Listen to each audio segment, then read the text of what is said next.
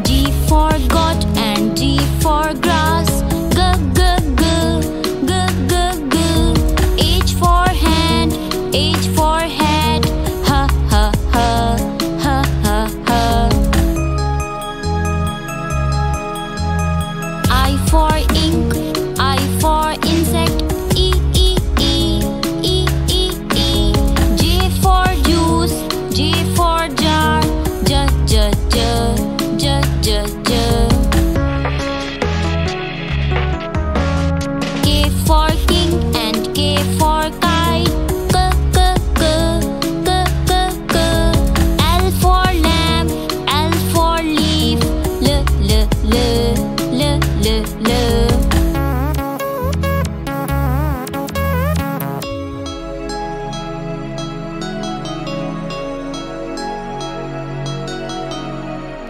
for me.